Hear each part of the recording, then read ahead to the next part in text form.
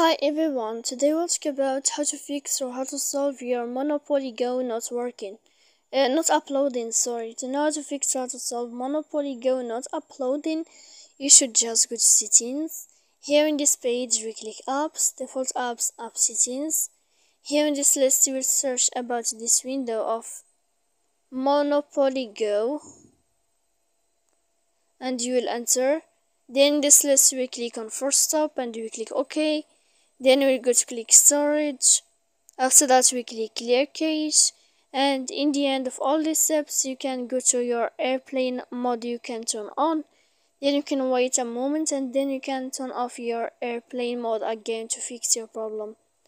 So please don't forget to support us by like and uh, subscribe. See you next time in another video and uh, thank you for your attention and you are watching